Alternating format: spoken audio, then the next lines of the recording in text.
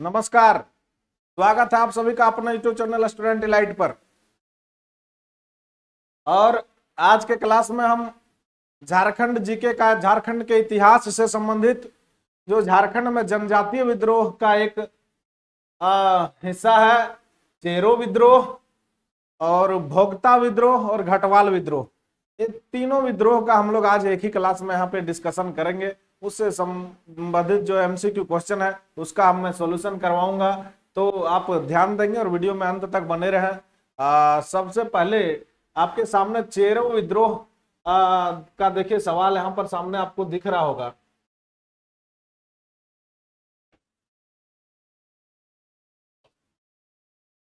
चेरो विद्रोह का सवाल आपको यहाँ पर दिख रहा है। सवाल है चेरो विद्रोह का प्रथम चरण संचालित हुआ। कब? यानी कि चेरो विद्रोह का प्रथम चलन कब, प्रथम चरण कब संचालित हुआ? चेरो विद्रोह जो था, वो दो चरण में हुआ और उसका पहला चरण जो था, वो सत्रह सौ सत्रह सौ सत्तर से सत्रह सौ इकहत्तर तक चला था और दूसरा चरण जो था, वो अठारह सौ ईस्वी से अठारह सौ उन्नीस ईस्वी तक चला था। तो यहाँ पर सवाल है, चेरो विद्रोह का प्रथम चरण कब संचालित हुआ? तो यहाँ पर इसका जवाब हो जाएगा 1770 से सत्रह ईस्वी।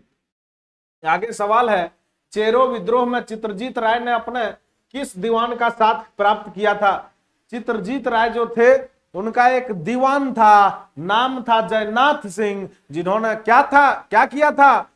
चेरो विद्रोह में साथ दिया था चित्रजीत राय का, जो चित्रजीत राय का दीवान था।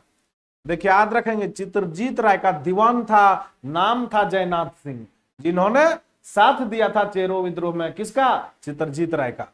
अब यहाँ पर सवाल था कि चित्र चेरो विद्रोह में चित्रजीत राय ने अपने किस दीवान का साथ प्राप्त किया? तो वो जवाब हो जाएगा जयनाथ सिंह।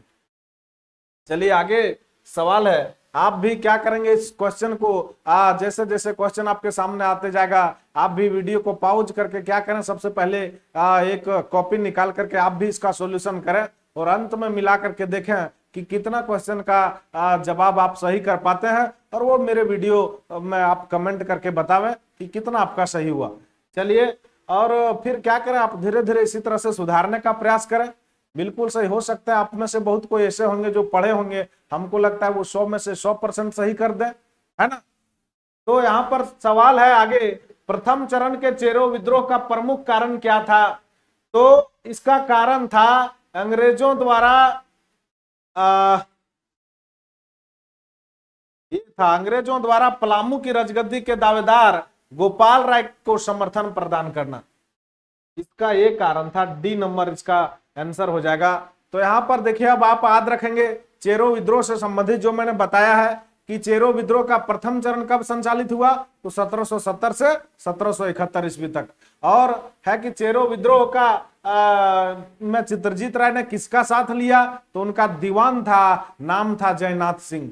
अब आगे सवाल है कि चेरो विद्रोह का कारण क्या था? क्यों हुआ था ये चेरो विद्रोह? तो उसका कारण यह था कि अंग्रेज़ों द्वारा पलामू की राजगद्दी के दावेदार गोपाल राय को समर्थन अंग्रेज़ प्रदान कर रहे थे, जिसके कारण से चेरो विद्रोह का प्रथम चरण हुआ था।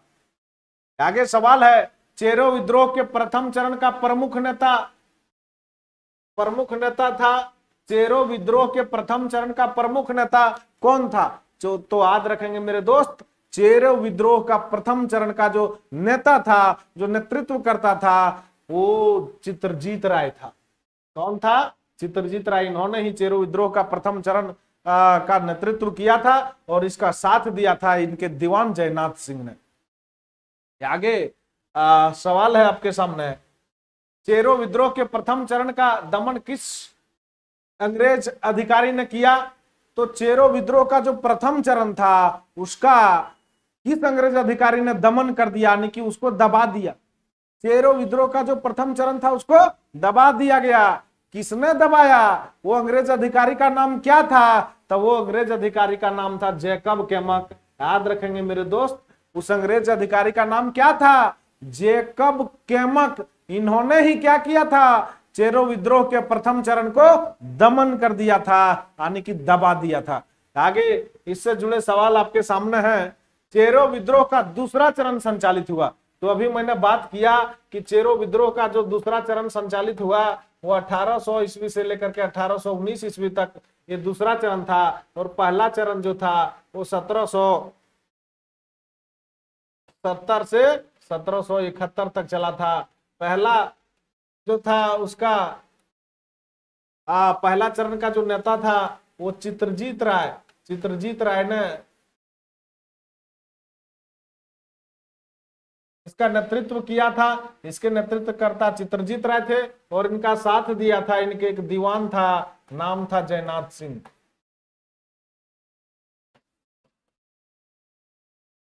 अब इसमें और आगे आपको प्रथम चरण से लेकर के जुड़े जो सवाल आएँगे वो ये आएँगे कि आ, इसका कारण क्या था? प्रथम चरण चेरो विद्रोह के प्रथम चरण का क्या कारण था?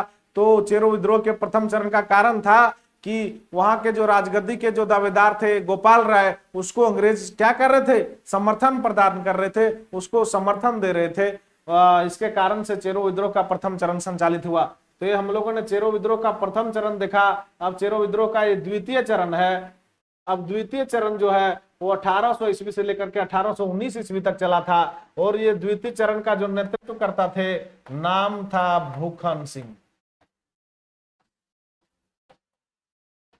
याद रखेंगे। चलिए तो हम आगे सवाल की ओर बढ़ते हैं। आ, और आपको क्या है कि मैं यहाँ पर एमसीक्यू करवा रहा हूँ। इसमें यहाँ पर डिस्कशन करते हुए मैं एमसीक्यू करवाता हूँ। और आपको अगर इसका डिस्क्रिप्टिव आपको और डिटेल में अगर आपको अच्छा से पढ़ना है तो आप क्या करें मेरे जो झारखंड जीके का लाइव बैच चलता है वो आठ से नौ डेली बैच चल रहा है। आप उसमें ज्वाइन कर लें। वीडियो के वहाँ पे आपका लिंक डाला हुआ रहता है। जहाँ से आप मेरे एप्लीकेशन को डाउनलोड करके और सब्सक्रिप्शन प्राप्त कर सकते हैं। मात्र निन्यानवे रुपया में बैच उपलब्ध है और निन्यानवे रुपया में आप पूरा झारखंड जीके का सिलेबस को, सारे झारखंड जीके का जो कोर्स है, पूरा कोर्स को आप पढ़ सकते हैं। बहुत डिटेल से, बहुत अच्छे से वर्णन करके उसमें बताया जाता है। तो चलिए हम यहाँ पर लौटते हैं, सवाल की ओर लौटते हैं। सवाल आपका था, चेरो विद्रोह का दूसरा चरण संचालित हुआ तो इसका जवाब हो जाएगा 1800 ईस्वी से लेकर के अठारह सौ उन्नीस ईस्वी तक दूसरा चरण चला था। चेरो विद्रोह के प्रथम चरण के बाद अंग्रेज़ों ने निम्न में से किसे पलामू का राजा घोषित कर दिया था? तो बताया ना कि चेरो विद्रोह में क्या कर रहा था अंग्रेज़? गोपाल राय को समर्थन प्राप्त कर रहा था और जब प्रथम विद्रोह का दमन हो गया तो प्रथम विद्रोह का दमन आने की उस विद्रोह को दबा देने के बाद राजा ने क्या किया? गोपाल राय को पलामू का राजा घोषित कर दिया। आगे सवाल है चेरो विद्रोह के प्रथम चरण में विजय प्राप्त करने के बाद अंग्रेज़ों ने निम्न में से किस किले पर अधिकार कर लिया था? तो चेरो विद्रोह का प्रथम चरण पर जब अंग्रेज़ विजय प्राप्त कर लिए थे, जब उस विद्रोह को अंग्रेज़ों ने पूरी तरह से दबा दिया तो उसके बाद अंग्रेज़ क्या कर लिए थे? पलामू के किला पर अपना अधिकार स्थापित कर लिए थे। तो यहाँ पर हो जाएगा, पलामू को किला को अपने कब्जे में ले लिया था, अपने अधिकार में ले लिया था। आगे सवाल है, चेरो विद्रोह के दूसरे चरण का कारण था तो चेरो विद्रोह के दूसरे चरण का क्या कारण था? अब दूसरा चरण फिर क्यों करना पड़ा? और वो किसने किया? तो दूसरा चरण भूखन सिंह ने किया था। अब क्यों किया था? तब वो देखिए, दूसरा चरण करने का कारण ये था कि अंग्रेज़ क्या कर रहे थे? जो ज़मीन था, उसे पुनः अधिग्रहण करवा रहे थे। और क्या कर रहे थे? पट्टों को पुनः अधिग्रहण करवा रहे थे और अधिक कर वसूली कर रहे थे। इसी के, कारण से दूसरा चरण जो है सो वो संचालित हुआ था। तो यहाँ पर हो जाएगा अधिक कर वसूली तथा पट्टों के लिए पुनः अधिग्रहण के खिलाफ चेरो में असंतोष। आगे सवाल है, चेरो विद्रोह के दूसरे चरण का नेतृत्व किसने किया था? तो इसका जवाब हो जाएगा, चेरो विद्रोह के दूसरे चरण का संचालित भूखन सिंह ने किया था। मैं अभी बात बताया था कि चेरो विद्रोह के दूसरे चरण का संचालित भूखन सिंह ने किया था। चलिए आगे सवाल है चेरो विद्रोह को पूरी तरह समाप्त करने हेतु किस वर्ष जमींदारी पुलिस बल का गठन किया गया?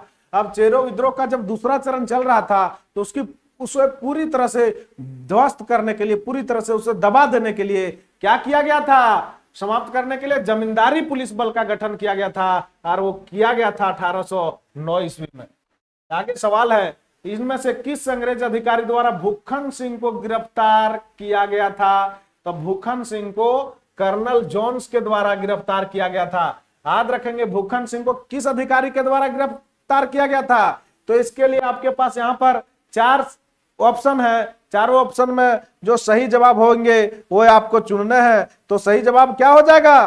तो सही जवाब हो जाएगा कर्नल जॉन्स। कर्नल जॉन्स ने ही भूखन सिंह को क्या किया था? गिरफ़्तार कर लिया था। आगे सवाल है, चेरो विद्रोह के नेता भूखन सिंह को किस वर्ष फांसी दे दी गई? तो चेरो विद्रोह के जो दूसरे चरण के नेता थे भूखन सिंह, उसे 1802 ईस्वी में ही फांसी दे दी गई थी। यानी 1800 ईस्वी में दूसरा चरण शुरुआत हुआ था और 1802 ईस्वी में ही भूखन सिंह को क्या कर दिया गया था? फांसी दे दी गई थी। आगे सवाल है, अंग्रेज़ों ने 1813 ईस्वी में किस चेरो राजा द्वारा बकाया चुकाने में असमर्थता के कारण उसके राज्य को नीलाम कर दिया था। अंग्रेज़ों ने क्या किया था? आ, वो चेरो के राजा थे चुड़ामन राय जो क्या कर रहे थे? बकाया चुकाने में असमर्थता जता रहे थे जिसके कारण से उनके राज्य को नीलाम कर दिया गया था। तो वो राजा कौन हो जाएगा? चुड़ामन राय। आगे सवाल है इनमें से कौन सा क्षेत्र चेरो विद्रोह से प्रमुख रूप से प्रभावित था? तो चेरो विद्रोह से प्रमुख रूप से प्रभावित होने वाला जो क्षेत्र था वो पलामू क्षेत्र था। मैंने अभी आगे पीछे आपको बताया था कि चेरो विद्रोह के प्रथम चरण पर जब अंग्रेज़ों ने विजय प्राप्त कर लिया, उसको पूरी तरह से दबा दिया था तो उसके बाद अंग्रेज़ों ने पलामू के किला पर अपना अधिकार स्थापित कर लिया था। आगे सवाल है अंग्रेज़ों द्वारा चेरो राज्य की नीलामी कर उसे बेचने के बाद, इनमें से किसके नेतृत्व में अंग्रेज़ों के खिलाफ 1817 ईस्वी में विद्रोह किया गया?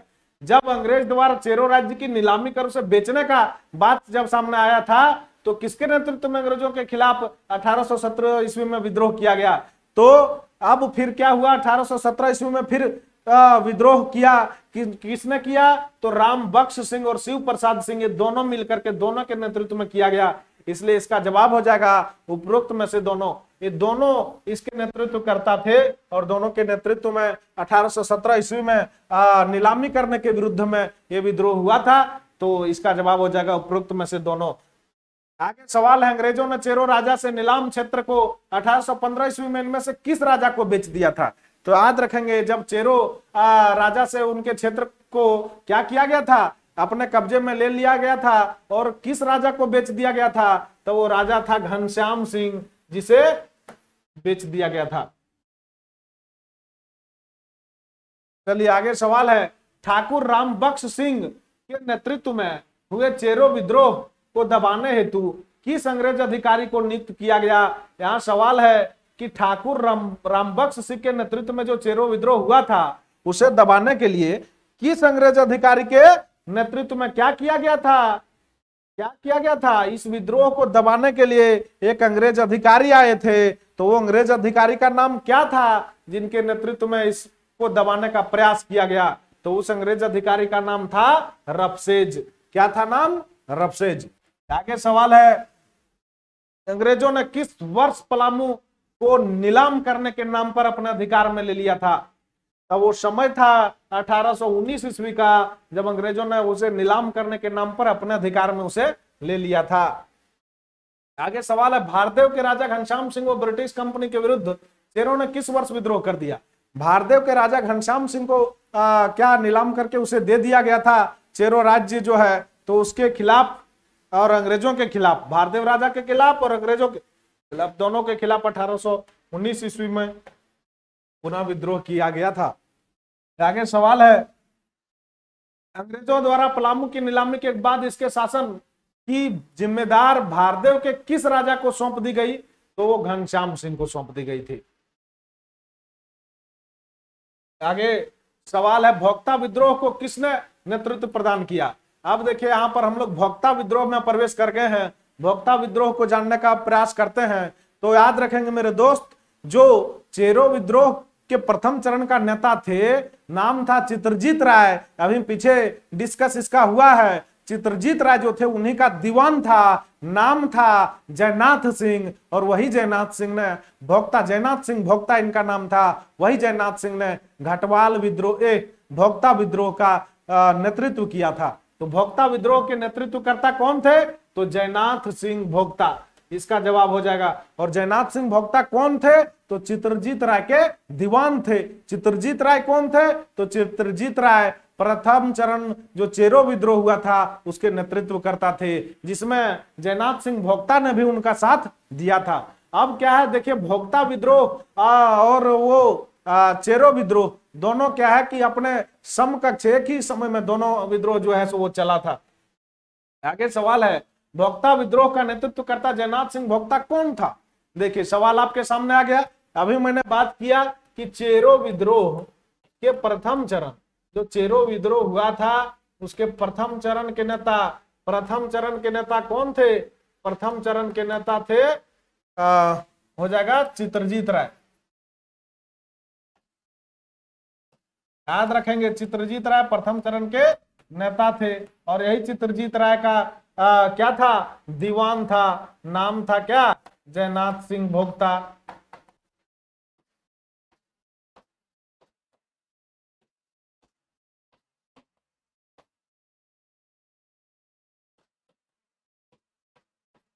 जयनाथ सिंह भोक्ता। सवाल है भोक्ता विद्रोह का नेतृत्व करता जयनाथ सिंह भोक्ता कौन था?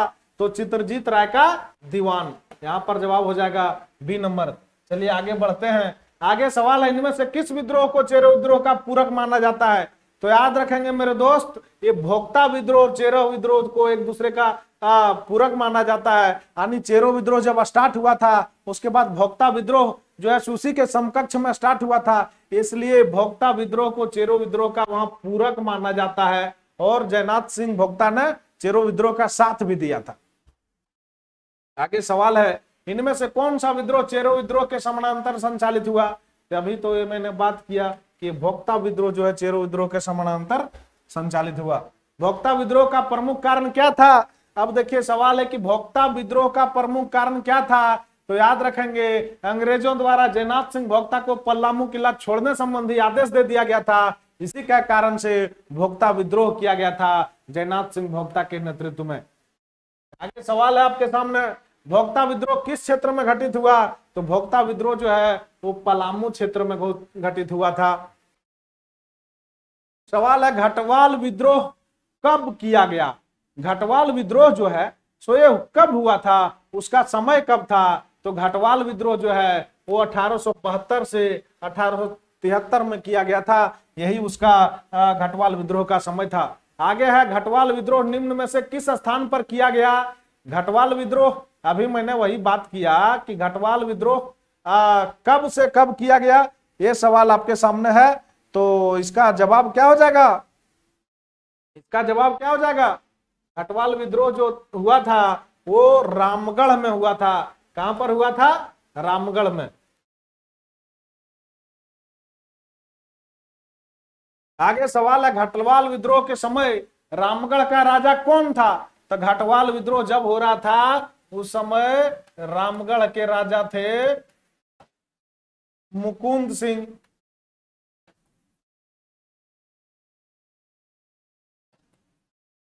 मुकुंद सिंह उस समय रामगढ़ के राजा थे और मुकुंद सिंह का ही एक संबंधी था।